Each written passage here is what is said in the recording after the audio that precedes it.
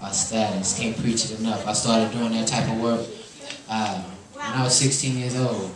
I'll be 38 in a couple months. It's important to know your status. And for the length of time that I've been doing the work, the numbers for our people continue to climb. Continue to climb, continue to climb. All because we don't know our status, so we can do what we need to do to protect ourselves and others. Don't be afraid of it. Ain't nobody gonna tell your business. It's all confidential. I'm gonna quit preaching to you. Let's go ahead and get to the show, Mr. TDG. Y'all give it up for him. Chill.